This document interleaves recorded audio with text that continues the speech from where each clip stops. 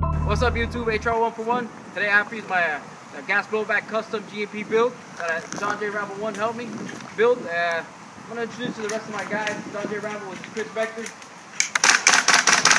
We got HR Bobby with uh, his custom G&P Skull Frog. We got War Dog with his MP7 uh, KWA. We got uh, HR Watson with his uh, Zombie Killer.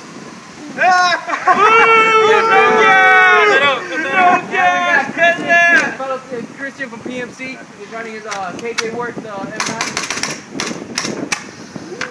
So we're all here pretty much today uh, skirmishing our gas blowback rivals. This is what we're getting into. Some of the team. This is my first one and I love it so far. I'm planning on getting another one and doing another build. So in this video I'm going to include a, couple of uh, kill cam videos. So just stay tuned and watch the video guys. Thanks.